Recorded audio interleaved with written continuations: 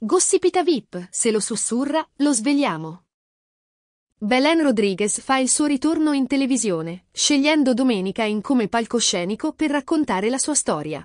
La modella argentina, oggetto di voci riguardo a un periodo difficile, è stata ospite di Mara Venier nella puntata del 3 dicembre su Rai 1. Durante l'intervista, Belen si è definita una donna molto caparbia, spiegando di essersi sempre presa cura di se stessa e di aver avuto un'infanzia meravigliosa in Argentina, ricca di amore. La decisione di lasciare la sua famiglia per intraprendere una nuova vita in Italia con soli 180 euro in tasca è stata un passo coraggioso, come sottolineato dalla stessa Rodriguez. Ha raccontato di essere arrivata a Bologna, poi a Riccione, dove ha iniziato come ragazza immagine in discoteca e partecipato a casting per diventare modella.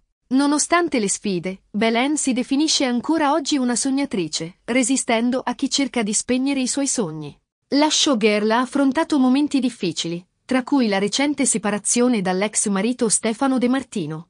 Ha rivelato di aver rifiutato di condurre programmi televisivi come Tu sì che vales e Le Iene durante quel periodo difficile, poiché avrebbe creato problemi alla produzione. Belen ha descritto quel periodo come l'anno più difficile della sua vita, in cui si è sentita completamente smarrita. Parlando del matrimonio e della separazione, Belen ha sottolineato il concetto di insalute e malattia, definendo la depressione una brutta malattia. Ha espresso la sua delusione nel sentirsi sola e tradita, senza specificare l'ex marito. Riguardo alla fine della loro storia, ha affermato che non è stata causata da un tradimento, ma che è iniziata con uno, confermando di aver avuto il sesto senso riguardo a situazioni simili. La Rodriguez ha chiacchierato con diverse persone coinvolte, affermando che molte hanno ammesso immediatamente la verità.